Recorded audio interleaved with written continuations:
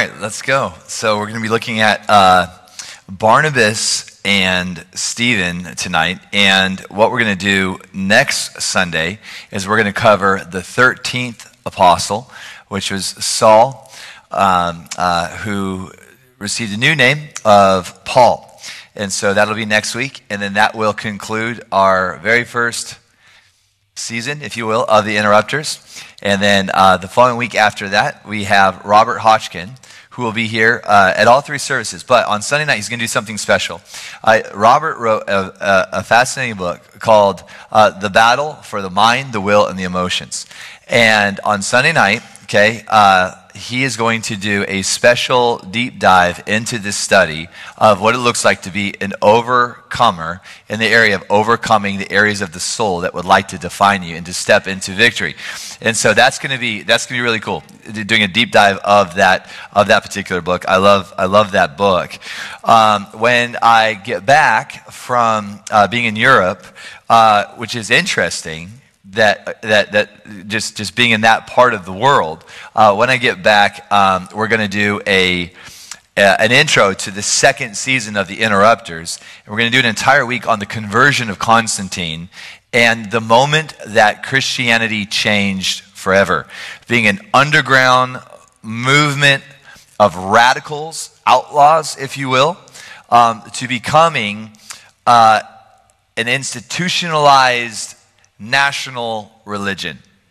Okay? And uh, so we're going to spend a week on the conversion of Constantine, and then we're going to deep dive into, um, I believe it's probably going to be a, a, a, couple of months as we dive into uh, the mystics, the desert fathers, and, um, and some radical supernatural missionaries who evangelized whole cities through the power of God. So that's going to be, that's going to be wild. And uh, so we have good times ahead of us. Amen? This has been, this has been such a journey. I've, I've loved doing this. Uh, going on a, a, a, this is the, the first time that I've ever done a study of this degree into the, into the disciples who follow Jesus and these great missionaries known as the apostles or the sent ones.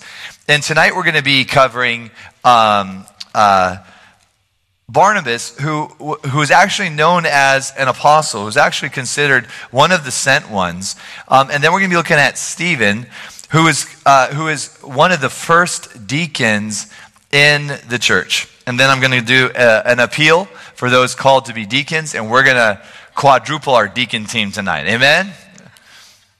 Or, or, or not. I don't, I don't know. I don't know what we'll do. Uh, but this, this, will be, this will be good. So, yep, tonight looking at um, Barnabas and uh, Stephen. I know it says uh, Philip. All right, so Barnabas. Um, Barnabas was known as the man of encouragement, yeah? And uh, most of what we know about Barnabas comes from the book of Acts, which is good because we have been studying various um, uh, apostles where not a lot is written about them, and we're using pieces of, of church history to kind of put together a bit of a, of a puzzle. We don't have to do that with Barnabas. We know quite a bit about Barnabas because of the book of Acts, and we know that um, uh, uh, we get to look into the, the journal of Dr. Luke, and we get to look at his um, missionary uh, journeys. We get to see at the relationship that he had with, um, with Paul. And we know that uh, Acts 11 24 identifies Barnabas as a good man. Okay, so that's good.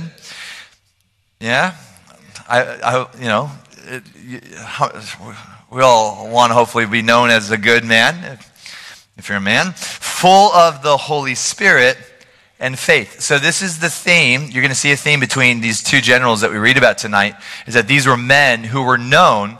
They had a, they had a reputation for being full or possessed with the Holy Spirit. How many of you would love to have a reputation, okay, that you're not just known for being a good person, okay, that's good, but you're known for being a good person and you are actually known for being full of the Holy Spirit. Okay? Barnabas was also known not for just being full of the Holy Spirit, but for also being a man who was full of faith. We know that Barnabas brought a great number of people to the Lord. He was an awesome missionary, and he loved to tell people about Jesus. His travels and his ministry are described throughout the book of Acts. And he is mentioned not just in the book of Acts, but there's mentions of Barnabas in the book of Galatians, First Corinthians, and Colossians. We see, for, we see his name mentioned first in Acts chapter 4, verses 36 and 37, where it describes Joseph, a Levite from Cyprus, whom the apostles called Barnabas, which means son of encouragement. Thank God. You know, all right, good. Son of encouragement. That's a good nickname. Okay. And it says that he sold a field that he had owned. Okay, so he's a landowner. Okay, and he had some money. And he brought the money, and what did he do? He laid it at the apostles' feet. He's known for his ministry of encouragement, his ministry of support, and his ministry of generosity. We know that Paul, who was still known as Saul early in his ministry, had become a fervent follower of Christ. And Barnabas took this unknown disciple underneath his wing. You see, at this point in time, most, evangel- most uh, uh evangelism occurred through people sharing their faith. With the conversion of Saul, it was different in that a person did not lead Saul into his faith. The Lord Jesus Christ himself invited Saul into this life changing journey, which is, yep, great. That's awesome. Except nobody believed that he was actually saved. I, I had a friend that was a drummer in a pretty famous uh, Christian rock band. And when he got saved, um, he found himself in, a, in, a, in a, an interesting position in that he was still drinking and he was still uh, doing drugs, but he loved Jesus, which meant that the people that he would drink with and do drugs with didn't want to be around him. but then the Christian people, they didn't want to be around him either. Why? Because even though he said he loved Jesus, he was still drinking and doing drugs. That's a difficult place to be when your unchristian friends don't want to be around you, and Christians don't even want to be your friends. And this is a, a, an interesting position that Saul finds himself in. Jesus Christ came to him, okay, and he had a bit of a reputation, okay. Uh, you know, he, he would make some unwise choices, like kill Christians. Anyways, you know, enough about that. You know, but so now here you have this guy that says, Hey guys, hey, can I be a part of your church? And they're like, Aren't you the guy that was persecuting the church? Well, yeah, that was old me, but Jesus came to me. Yeah, I bet. You're a mole. You're a spy. You're trying to penetrate our deal, and you are a bad spy. You're not even convincing. Yeah, I bet. Jesus came to you and knocked you off your thing, you know, knocked you off your mule and blind. Yeah, I, I bet. And this is where Barnabas comes in. And we see that Barnabas takes him under his wing and he vouches for him. The, the apostles, they were afraid because of his past actions. And, um, and he says, no, this, this, this, this, this Saul, he's legitimate. he's a new creation. Um, I am going to vouch for him. I, I, I, am, I am going to take responsibility for him. If things go bad, hey, you can put it on me. I'm going to be the bridge for this guy so that he can come into the church, be a part of the kingdom of God, because I believe in this guy. I believe that there's a huge call of God on this guy. And I believe in times like these, we need a Barnabas company. We need people, right, that are willing to be with people that are still in transition, people that don't have it all figured out yet, the people that say, You say you're saved, well, you don't look saved, you don't smell saved, you don't talk saved, but I believe in you. I see the call of God on you, and yet you're a little embarrassing to be around. Okay, but I'm willing to take you under my wing. I will be the bridge from the world into the family of Jesus, and that's what that's what Barnabas was. He was the relational bridge, okay, from a very religious, pharisaical environment into the family of God. Later passages would detail how Barnabas uh, was doing the work of God in Antioch, but decided to find Paul so that the two could work together. So not only did he vouch for him, but the, these two guys, Paul and Barnabas, um, become uh, uh, partners in kingdom ministry. And this wasn't just kingdom ministry, this ministry was fruitful. These guys did incredible things. In fact, Paul was awesome, and Barnabas was awesome. But Paul and Barnabas together was like next level. Next level partnership and collaboration. The church grew uh, numerically in an unprecedented way through these guys, and the church prospered financially. Incredible finances began coming into the church because of Paul and Barnabas working together. Okay? Um, now, this partnership didn't last forever. Okay? They had they had a bit of a uh, they had a, a bit of a, a, a, little thing. There was a little bit of apostolic drama. Okay, and, and, uh, and let me just say that's not uncommon even to this day. Okay, uh, you have good people that love Jesus, but within the kingdom, sometimes there's some apostolic drama. Usually, it's more prophetic drama. Usually, usually the prophets are a little little more you know, a little drama queen thing, you know, you know what I'm saying? Yeah, you know, but we see that when it comes to drama in the church, that is not anything new under the sun. And don't worry, yep, they went their own ways, okay, at a certain point in time. We'll look at this in a second, and they, they resolve it. it. It is all good. But I'll tell you, I think that in, in the first century church, everybody would look back and say, oh man, oh man, do you remember when Paul, do you remember that conference? When Paul and Barnabas were together and they ministered together. Do you remember that atmosphere? Do you remember that revelation? Do you remember? Isn't that awesome? And this is a part of our, this is a part of our, so yeah, um, there's something about, there's something about what is possible when two people come together, when two churches come together, when two ministries come together, when a husband and wife come together. There's something that is possible through unity where God can't help himself. He commands a blessing. And we should always be looking for what we call, even with Renaissance Coalition, we call it apostolic resonance. We should always be looking for people that when we get around them, our spirits start going, wah, wah, wah, like we start getting energized by the relationship. I hope that if you've, if, if you've made SRC your home church, I hope it's because when you came, you felt apostolic resonance. You felt your spirit and, and, and the church, and church here going, wah, wah, wah, wah, wah, wah, wah. You felt that, that, that resonating in the spirit. And if you didn't, that's, that, that, that, that, that, that's okay. You, you, can, you, can, you can drink here. That's all right. Yeah.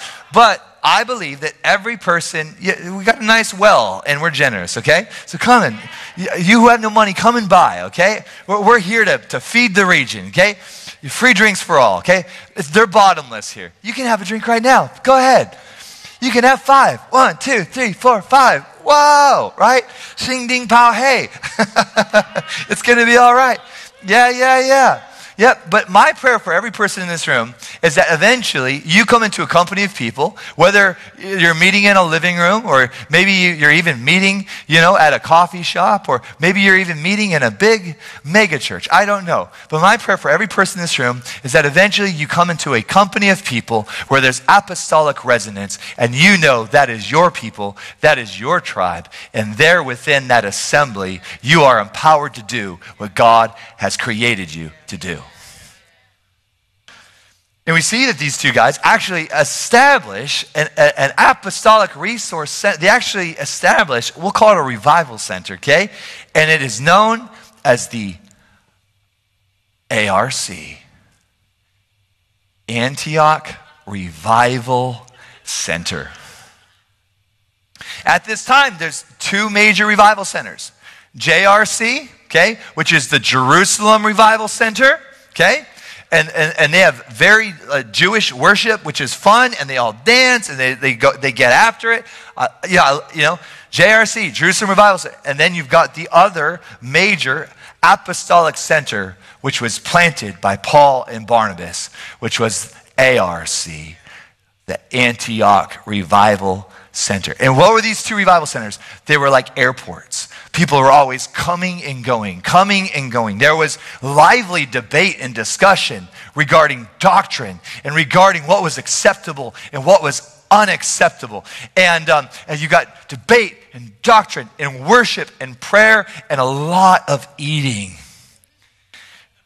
they would debate together to do their thing, and then they would have maybe some fish, and then they would break bread, and they would say, This bread is the body of Christ, and we partake of this bread in remembrance of him. And then they would take the wine and they would say, This wine is the blood of Christ. Let's drink in remembrance of our great friend, our great Savior, Jesus the Christ. And there, together with honest relationship, the apostles would gather and, and with no fear of conflict. These guys had no fear of conflict. Sometimes I wonder if some of them live for it. Guys like Peter and even guys like Paul. I mean, these guys, even guys like Barnabas, you know, these guys, they were hardcore in their beliefs. They were hardcore in their experiences and they were hardcore in their doctrine. And they believed that your beliefs would determine your trajectory. They believed that what you believed and what you declared, that, that your declaration would determine your destination. And therefore, they would hold each other accountable for their beliefs, their practices, and where they were going and how they were living. Let's look at uh, the background of Barnabas. We see that as a Levite, Barnabas was raised as a Jew and was most likely quite wealthy. Okay? Uh, he was schooled in Hebrew uh, religious foundation instruction, and uh, references in the Bible indicate that he was a respected figure. In Acts 14 12, Barnabas was referred to as Zeus, okay, which is interesting. We'll get into this in a second. While his companion Paul, who did most of the speaking, was referred to as Hermes. To the ancient Greeks, Zeus was the lead god, considered the god of the sky and thunder and the ruler of all other gods. Okay?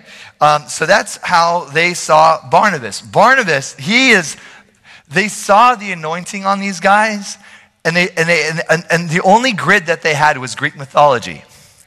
And they're looking at Barnabas and Paul, and they're like, Barnabas He's the man, he's the leader. Barnabas has got more stuff going on than Paul. Barnabas is Zeus, okay? Uh, which, is, which is fascinating. Um, Barnabas was born of Jewish parents of the tribe of Levi and was probably educated as a Pharisee in the school of, uh, good times, in the school of, this isn't that hard. Get, what? Thanks. Gamaliel. Is that good? I was looking at Masood. Gamma. Yeah, all right, we'll get to it. I was even listening to the YouTube thing, practicing, practicing, practicing. Then they turn these lights on, cameras, and I freak out. All right, and of course, we see that Barnabas, his introduction to Paul, is first welcomed into the Jewish Christian apostolic sphere in Jerusalem. Barnabas was considered an apostle, not one of the original 12, but he was set apart with Paul by the Holy Spirit and sent out by the early church to spread the good news of Jesus Christ across the land. He was an itinerant missionary who had talk about Jesus and walk in signs and wonders and miracles. In fact, in the book of Acts, um, the title of this missionary pair, we always see these various titles, and we see the apostles, Barnabas and Paul. So let's look at this connection between Barnabas and Paul. We see that um, they knew each other like, and, this is kind of interesting. How did these guys know each other? So Saul gets converted. He's trying to get into the church. He can't get into the church. And so what does he do? He goes to his, convert, his converted friend Barnabas because most likely these guys had studied together earlier in the school at Gamaliel. Okay. Okay. And it's awesome. When we, when we post this online, after the guys edit it, every time we get to that word, we'll insert the YouTube version of Gamaliel, or however you say it. All right, it'll be good. It'll, okay. But while Barnabas was still the one um, uh, uh, with the primary introduction, we see that after Barnabas and Paul are working in Tarsus in Acts chapter 11, they're collaborating with all this energy. We see the foundation of Antioch. We see all these people coming to know the Lord. We see the expansion of the church.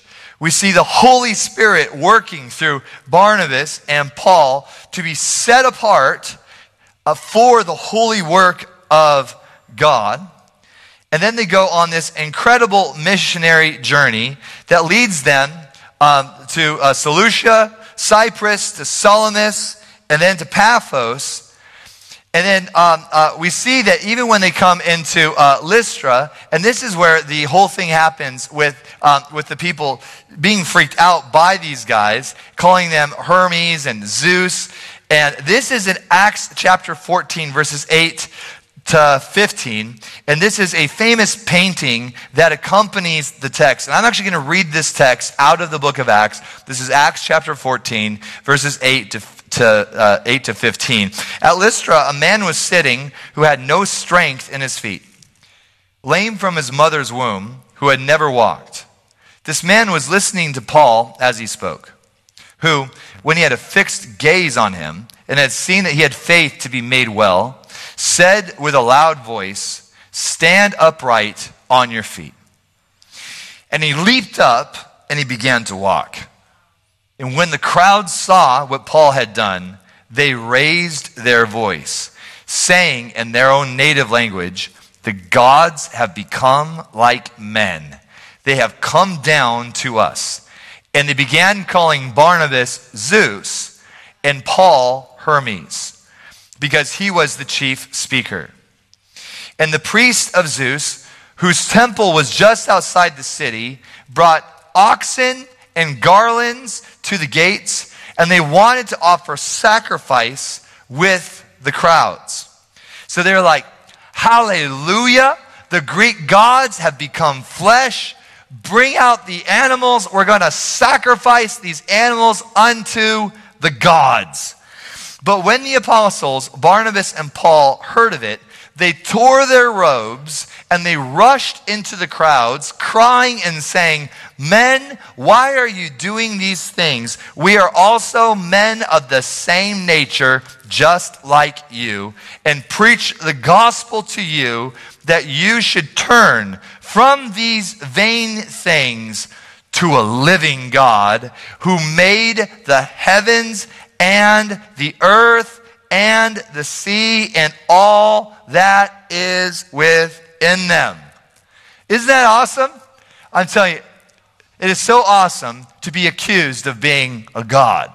I've only had it happen one time. I've told you the story before, but I met a, a, a real life Tibetan Buddhist monk. A real life Tibetan Buddhist monk on an airplane in India.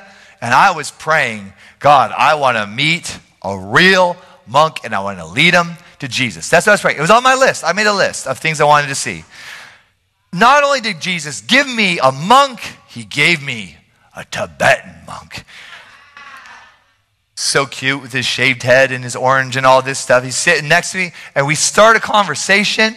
We hit it off, and and, um, and we're talking about meditation. I'm like, Do you meditate? He's like, Well, of course. And, and I'm like, So do I. You're, you're a monk. Yeah. So am I. I was like, we got so many things in common. I was like, hey, when you meditate, have you ever seen Jesus? And he was like, no. And I was like, do you want to? I said, You can see him when you meditate.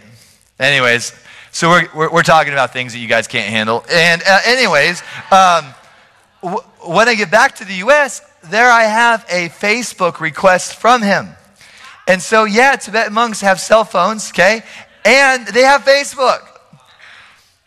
He, so we stay in touch. And then we lose touch. And we don't talk for many, many years.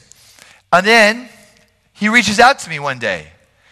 And he says, um, I'm no longer a monk. I had to quit my studies. I said, What's going on? He said, I had to, I had to move back to my home, which is um, in Bhutan, because um, I am unable to breathe.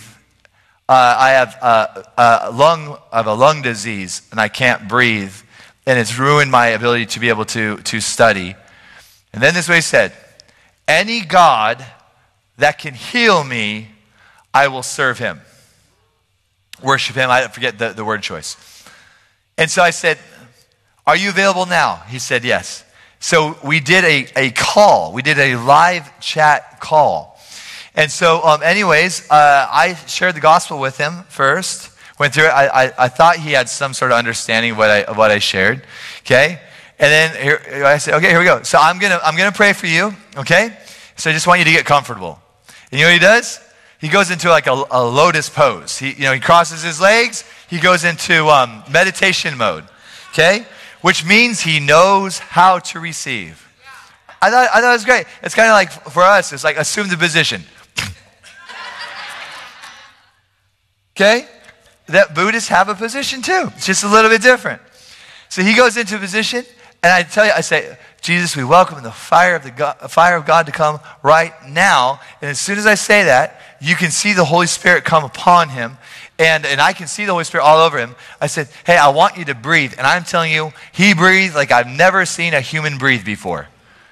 He, it was the deepest breath I've ever seen. He, he goes,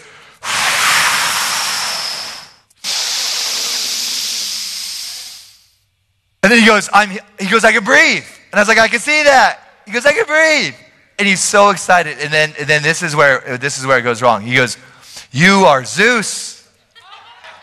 No, he didn't call me Zeus. He says, You are my God, and I will serve you. I will worship you. I said, No, no, no, no, no, no. Remember, I, we went through this. Bad monk. Remember, we went through this. I told you I told you about Jesus. I told you about forgiveness. I told you about sin. And we went through all this. You weren't listening to a thing that I said, did you? Right? Like, like, like no, no, no. I am not God. I'm just, I, I, I yeah, yeah. Uh, all of a sudden, he goes, no, he goes, he goes, no, you are my God. You healed. I said, I did not. And all of a sudden, no connection.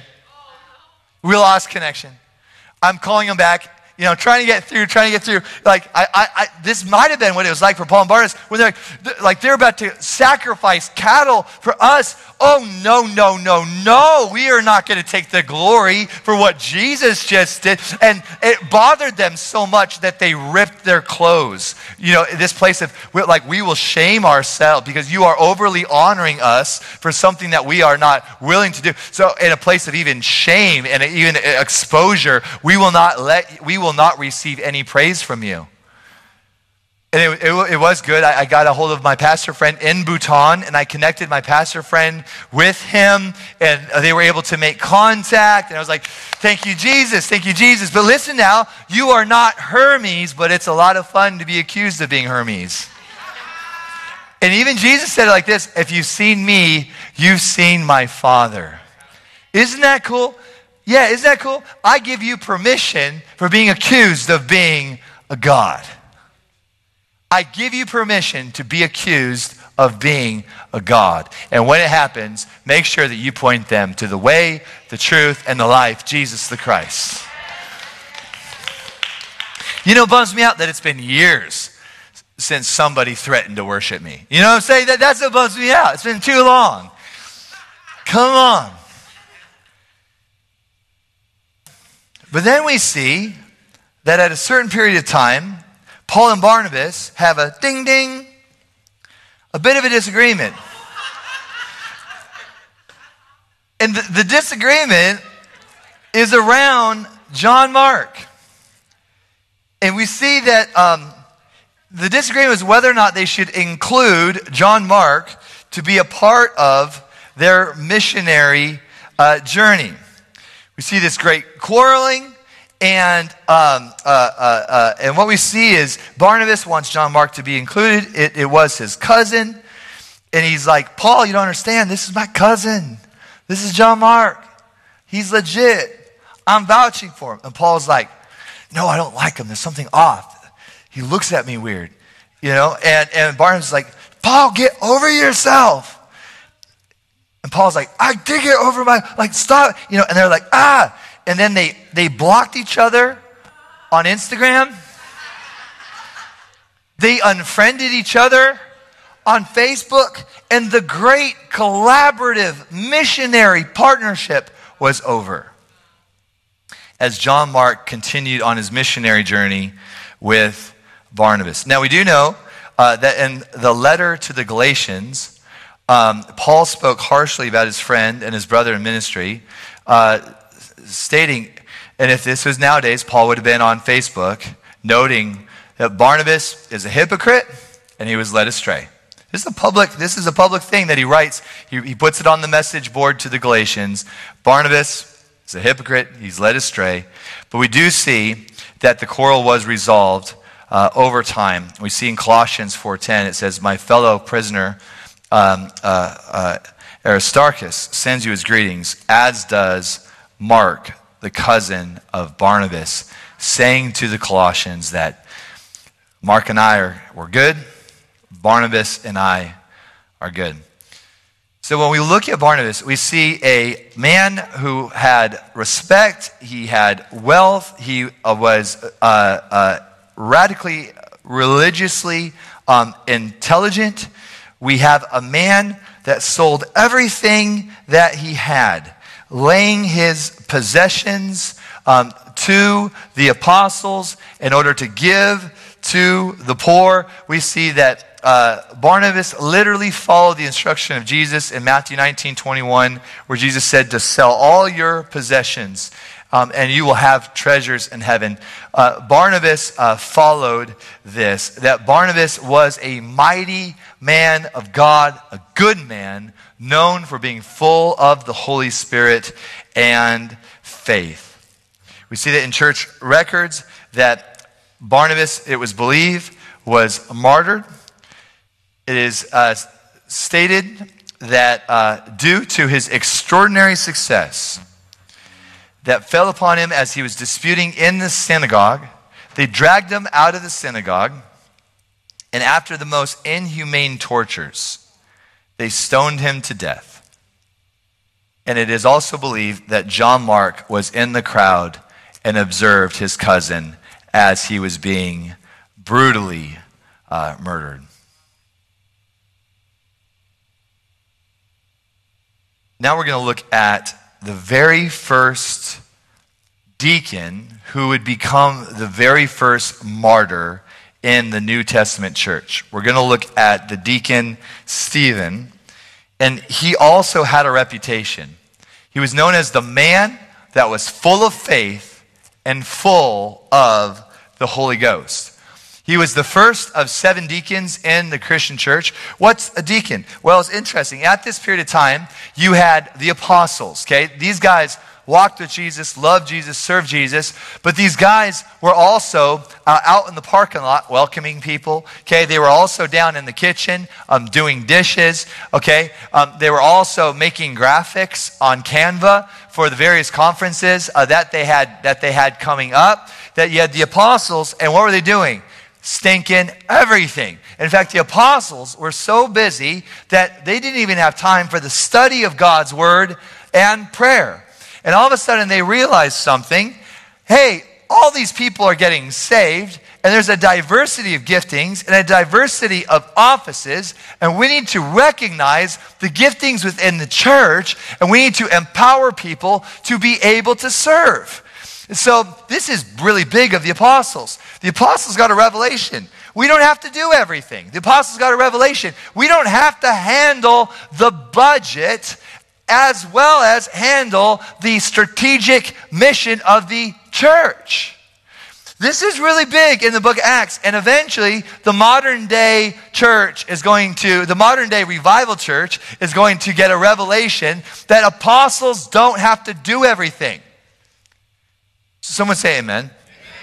Thank you. That this is why we have the glorious, beautiful, gifted body of Christ and that we need to have cultures where giftings can be identified within God's people, and that God's people don't just expect for the apostles to do everything. Now, what's so cool about the apostles is that they were not only willing, but they were doing everything. And that is the mark of a true apostle, is that you will see them doing things that they shouldn't be doing, but they're doing it because they have the heart of Jesus, which is the heart of a servant.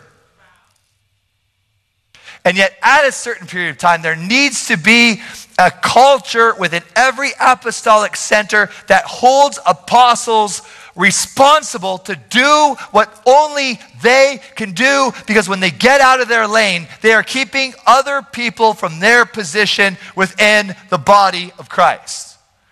That when I get out of my lane, what does that mean? That means I could be in your lane, and where I think I am serving the body, I am actually causing accidents in the kingdom of God. You might be an apostle, a prophet, a pastor, a teacher, an evangelist. You might be a deacon. Stay in your lane.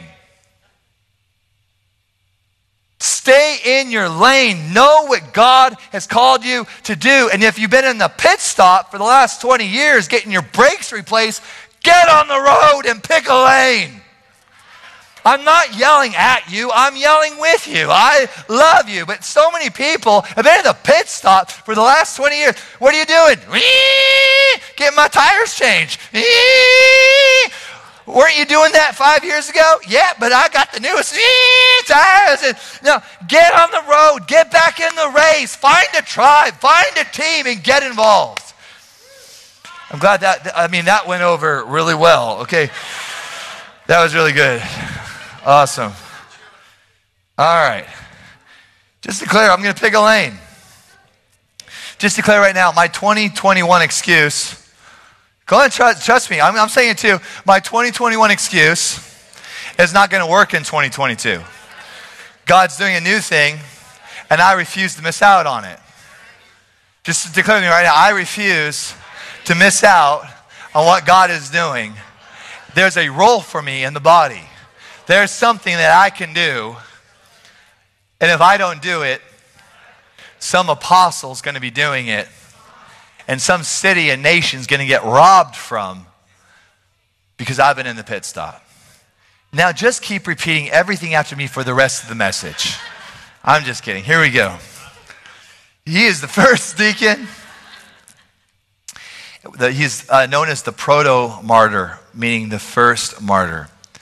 We see with the life of Stephen that not a lot is known about his origin, but we see that he was a, uh, a Greek speaking Jew, and his ministry was to the Hellenist Jews. So his ministry was also to the Greek speaking Jews, and that he would minister to Jews who didn't necessarily subscribe yet to the gospel of Jesus Christ. But he would use his service, he would use his gift of communication, he would use um, his anointing to serve Greek speaking Jews and to lead them into an encounter with Holy Spirit.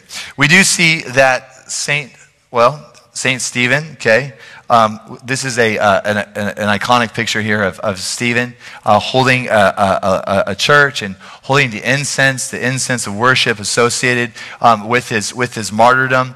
And we see here that um, Stephen is brought to trial.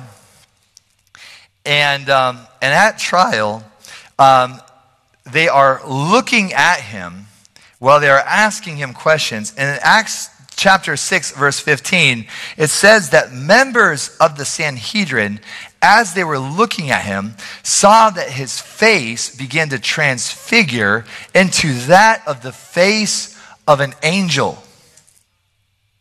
It's interesting that as these men are sitting there in judgment, we have the high priest and what they do is they are accusing him of all these things, things that aren't even, even true. In fact, they are making up lies about him, such as uh, one of the lies that they said is th- that they claim that they heard him speaking words of blasphemy against Moses, and they said that Stephen was speaking blasphemous words against God. Uh, they even say that they heard Stephen say that Jesus of Nazareth would destroy the temple and change all of the traditions that had been delivered by Moses. So here's the high priest and there's all of this accusation. And what's interesting is that Jesus was given a, an opportunity to rebuttal. Jesus was given an opportunity to defend himself, and he didn't do it. Okay? So you would think that because Jesus didn't defend himself, that that would be that would be the model, okay? That Jesus didn't defend himself, so you shouldn't defend. How many of you ever heard that before? Jesus didn't defend himself, so you shouldn't defend yourself. Well, then you should read the book of Acts. Because these guys defended themselves. And this is what the priests say Stephen, we're going to give you a chance to defend yourself. When they said that, it says that he was immediately filled with the Holy Spirit. Stephen had already been filled with the Holy Spirit, which is why we have the doctrine of, of not just one infilling, but we believe that every Christian should be ye filled with the Holy Ghost every single day. That you don't just eat from the tree of life once and you live forever, but you feast from the tree of life. You don't just drink of the cup once, but you receive your new wine daily. And what we see is that there are infillings that bring a fresh anointing so there can be a heavenly and relevant response that in this case is going to be captured by Luke for generations to read. So they say, hey, you can defend yourself. So uh, this is this is so funny. I was just at the Spokane Healing Rooms this last weekend, and um, and had a great time with Cal Pierce and the incredible team there at the Spokane Healing Rooms. But the Lord gave me some interesting messages for them, things that I hadn't preached on um, before. And, and uh, so the first night I preached on, the Lord, the Lord was telling me that, that they need to own it. They need, they need to own what the Lord has given. They need to own their call. They need to own the anointing. They need to own their commission. And to cast not away their confidence, which means boldness, okay? It means authority. It also means publicity. Cast not away the publicity. Very, very But then last night, I spoke on um, how unchristlike Jesus was. And I preached a message where I went through the meanest things that Jesus says in his sermons. Jesus was so mean. And I went through all of these statements. He said the craziest stuff. And I was like, well, that's not very Christ like. Well, that's not very Christ like. The problem is, and we talked about this before, is that we interpret Christ likeness through American lenses because we have an inaccurate definition for love, we have an inaccurate definition for peace, and we have an inaccurate definition of joy. We have American definitions for love, joy, and peace, and that's why the church is so weak. And that's why Christians look nothing like Christ. And that's why most preachers preach nothing like Jesus and nothing like Paul and nothing like Stephen. How does Stephen preach? This is a this is a sermon and one of the one of the greatest sermons in the book of Acts. And there's there are just some famous sermons. And he begins by capturing the heart of his audience. Stephen begins by, he read Dale Carnegie's How to Make Friends and Influence People. He had read that book. He is going to, he's got, uh, Stephen did his Strength Finder, okay, 2.0. And on his Strength Finder, he had woo, win others over. So we're about to see how Stephen preaches this message and he wins them all over. You ready? This is how he begins. You, you stiff necked, uncircumcised in your hearts and ears. He just referred to their hearts and ears by a private part. Okay? That's offensive today. Can you imagine if I was like, you, your hearts look like your dungs? That's offensive now. And, and yet, and here he is with the religious.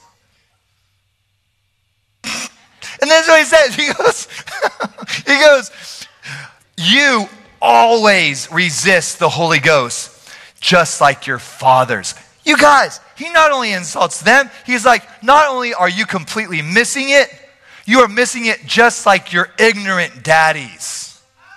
They were just as ignorant as you. He says, which of the prophets have not your fathers persecuted? He says, and they have slain them who foretold of the coming of the just one, of whom you have been now the betrayers and murderers, who have received the law by the disposition of angels, but you have not kept it.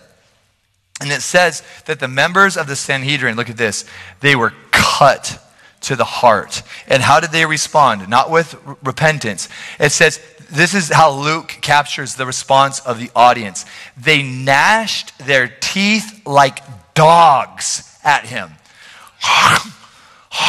they gnashed their teeth like crocodiles. We're talking slobber, drool, and venomous rage.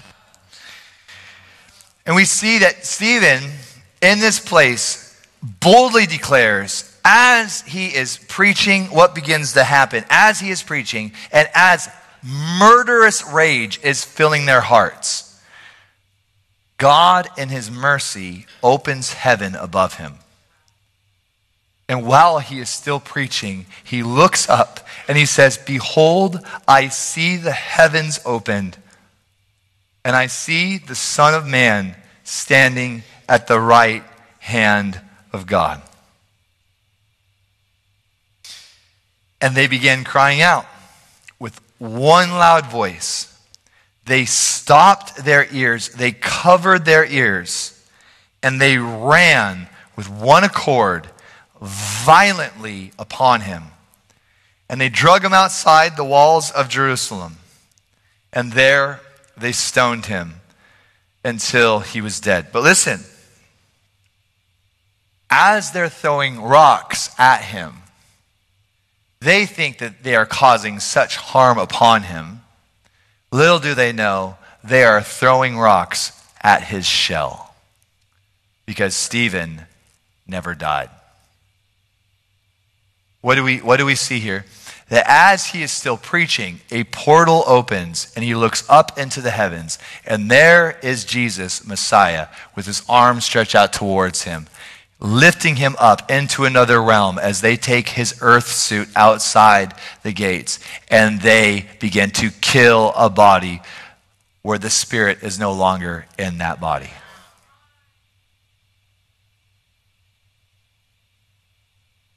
Here's a, fam- a famous painting of the martyrdom of Stephen. You see the angel coming down with the crown of martyrdom and with an olive branch, also symbolic of martyrdom. We see Barnabas, an apostle who was a sent one, and we see Stephen, who is not a sent one.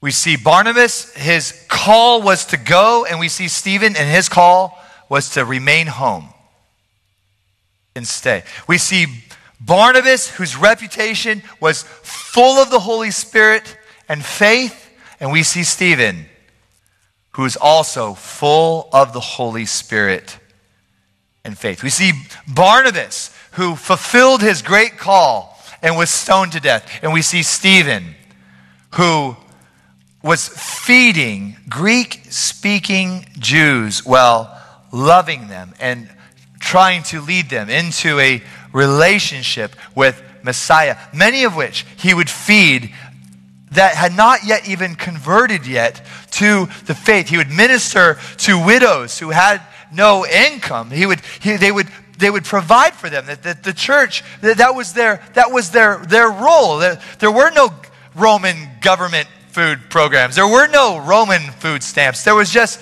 there was just your family. There was just the church. And, and, and here's Stephen, who's just this beautiful picture of a practical servant within the church who preaches one of the most anointed sermons, who had the honor of being one of the first to go because of his love and his public profession of the Lord Jesus Christ. And isn't that your prayer tonight? Isn't that your prayer? Is that we as a people, that we as a church, that our families, that our children would have a reputation of being full of the Holy Spirit and power, and that we, full of the Holy Spirit of power, would walk in such an anointing to articulate the beautiful, glorious, and offensive gospel of Jesus Christ. We see Barnabas, who feared no man, but feared the Lord. We see Stephen, who did not fear man, who did not fear death, but he feared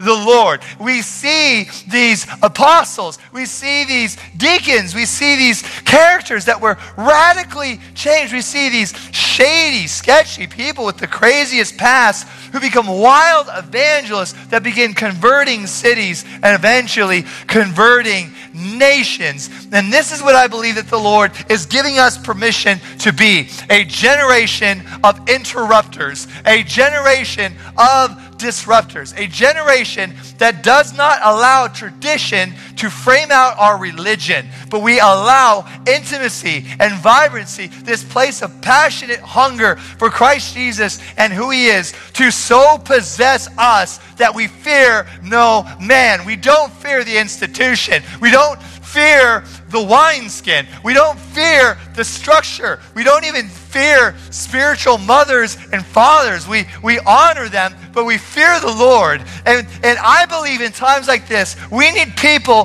who love Jesus and will speak the truth. In times like these, we need people who fear the Lord and will speak the truth. It is this place of, of not even necessarily weighing out the consequences but saying that the consequences will be worth it because God is speaking. Is there anyone who is listening? And is there anybody who will communicate what the Father wants to say to a generation? God is speaking. Is anyone listening? He who has an ear, let him hear what the Spirit is saying to the church.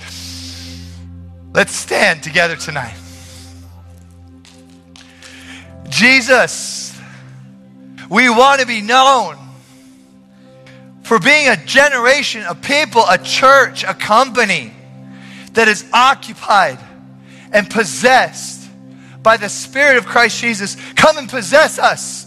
Come and possess us. Come and possess us. Come and possess our minds, our wills, our emotions. Come and possess our desires and our dreams. Come and possess our occupation and careers. Come and possess our thought and thought processes. Come and possess our responses and our reactions. Come and fill us with everything that you are. Come and fill us with true Christ like love and joy and peace. And it's the kind of love that doesn't show up. It's the kind of that doesn't shut up. It's the kind of love that speaks up. It's the kind of joy that anchors our emotional stability so we can go through the hardest of brokenness and know that the joy of the Lord is our strength in that place of brokenness and in that place of, of it's the kind of peace that, that even the, the kind of peace that surpasses all understanding that when the math is not adding up we know that we have peace. We know that our soul is fixed, our soul is fortified. It is that place where we do not live our lives for the affirmation of man, but we live our lives in the proclamation and worship of Yahweh, Elohim, that we don't live for people, we live for God. You don't live for people, you live for God. You don't live for stuff, you live for heaven. You don't live for treasures that will rot and rust. You live for heaven. We store up our treasures in heaven. It says, and Barnabas was a wealthy man, a man with property, a, a man with money, and he, and he took it all and he sold it all and he brought it before the apostles and he laid it down at their feet. He says, I'm trading in everything that the world counts as dear and I'm trading it in because I know that God has called me, commissioned me, and anointed me for such a time as this. And the places where He's taking me, I will not be able to take these treasures with me. So instead, I will trade in these treasures for heavenly treasures. Oh God we want to store up treasures in heaven, the kind of treasures that do not rust or decay. We thank you, Lord, for the call of God on each and every person in this room. And I pray, oh God, that you would dust off dusty hearts tonight and that you would soften hardened hearts tonight. And Lord, for those that have been in a place of hope deferred and discouragement, that you would come to them and that you would meet with them. Lord, I pray that we would not be stiff necked. I pray that we would not be the ones with uncircumcised hearts and ears. I pray that we are not the ones that are being rebuked, but we are the ones doing the rebuking. We humble ourselves tonight. We humble ourselves tonight. We bow our hearts low before you, King Jesus. We say we know nothing but this Christ Jesus and Him crucified. Come occupy us. Come possess us. Come burn in us. Favorite movie? Not gonna lie. Braveheart. Favorite quote from the movie? Every man dies, but not every man really lives. I pray that every man, every woman in this room would fully live, would fully live in Christ. That Jesus said, I have come not that you'd have belief or theology or religion, but I have come that you would have life. And I pray that every person in this room would discover eternal life, lasting life, and the kind of life that can only be found through Jesus Christ. If you don't know Jesus tonight, tonight is the perfect night to believe in your heart and confess with your mouth that Jesus Christ is Lord. And if you invite him into your life, if you invite him into your heart, if you invite him into your dreams, if you invite him even into your sinfulness, he will come inside of you and he will transform you and he will change you and he will awaken you to who you really are and what he's called you to do in this hour. Hallelujah. Hallelujah. Hallelujah. You guys want to worship for a second? I'm kind of I'm kind of feeling that. You guys kind of feeling that? Can we just respond just by worshiping Jesus for a minute or two? Awesome. Thanks, Josh. In the crushing, in the pressing, you are making new wine. In the soil, I now surrender. You are breaking new ground. So I yield. So I yield to you into your careful hand. When I trust you, I don't need to understand. Make me a vessel. Make me an offering. Make me whatever you want me to be. I came here with nothing but all you have given me. Jesus, bring new wine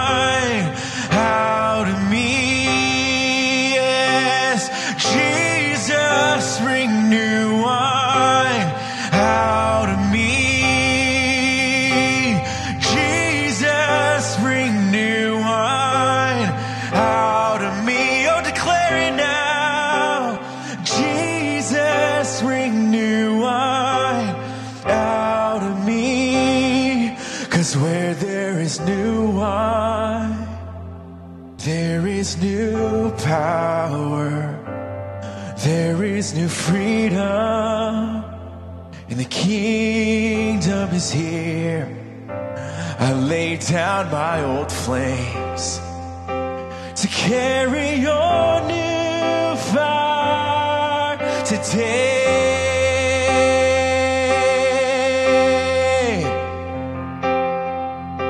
Cause where there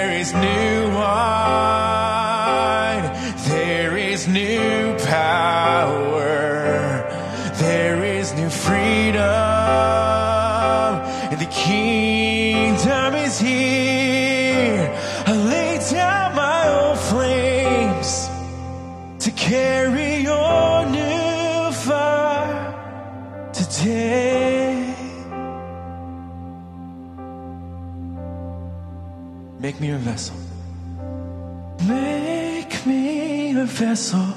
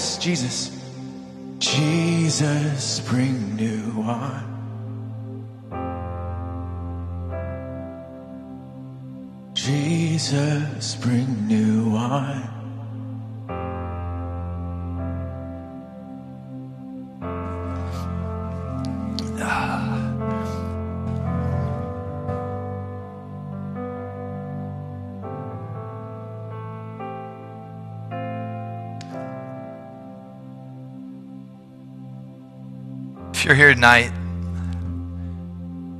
and you just say, Pastor Darren, I got tricked, I got lied to.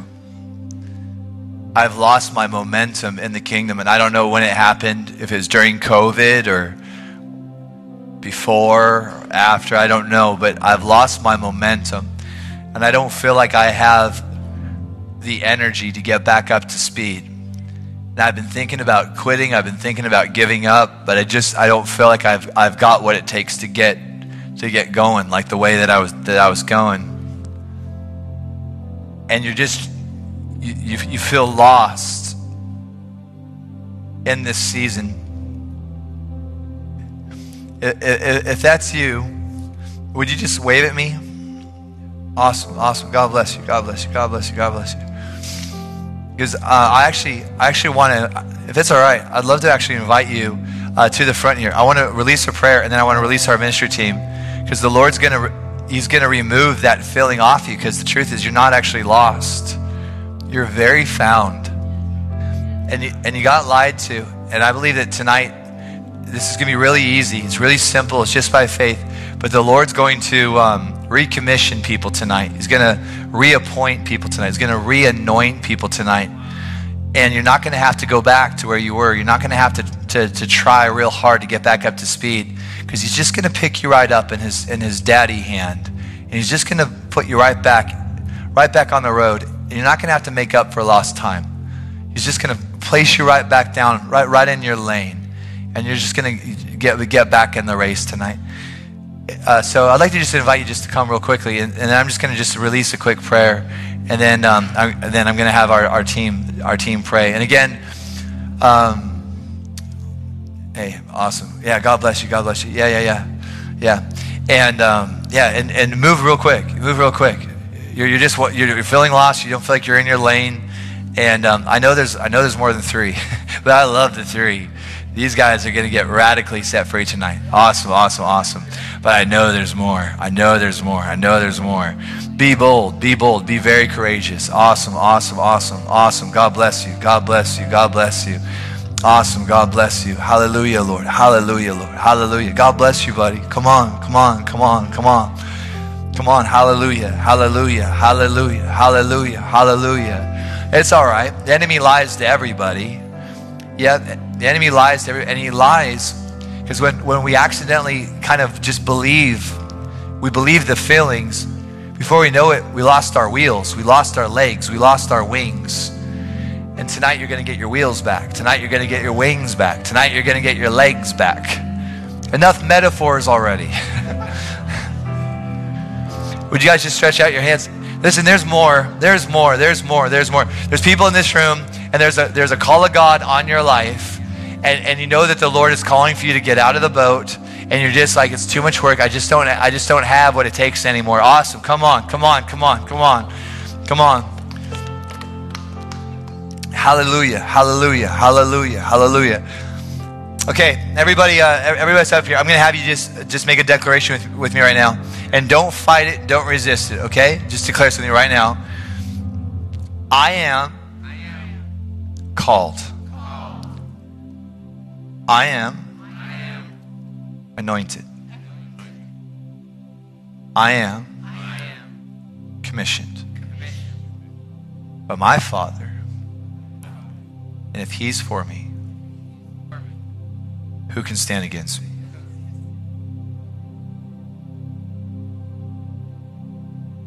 This is going to be the most difficult part. You ready? Declare me right now I am called to lead. And I will no longer resist that call. Hallelujah, hallelujah, hallelujah, hallelujah. hallelujah. Our ministry team can come too. I'm just going to anoint them with oil, but hallelujah, hallelujah, hallelujah. I'm called to lead. You guys can have oil too. I am called to lead. I am called. I am called. I am commissioned. I am anointed. I am called. I am commissioned. I am anointed. Yeah, hallelujah, hallelujah. I am called. I'm commissioned. I'm anointed. I'm called to lead. Hallelujah, hallelujah, hallelujah, hallelujah. I am called.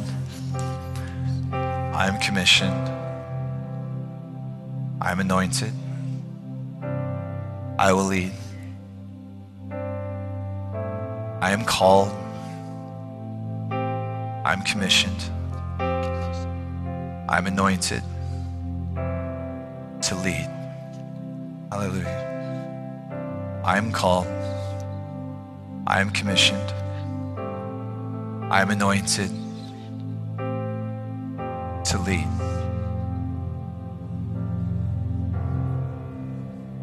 I am called. I am commissioned. I am anointed to lead. My heart is an open space. I am called. for you to come and have your way. commissioned. I am I am anointed to I am lead. open. I am called. My heart is an open space for you to come. I am commissioned. Have your way. I am open. I am anointed I am open. To lead. I am called. heart is an open space for you I am commissioned. to come and have your way. I am, I am anointed. Open. I am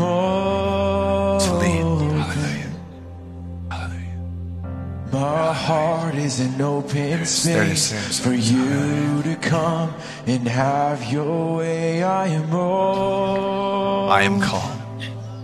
I am all. I am commissioned. I am anointed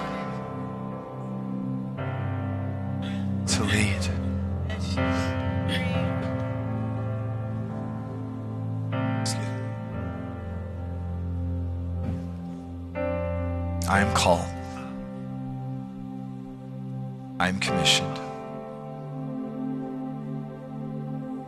I am anointed. I have permission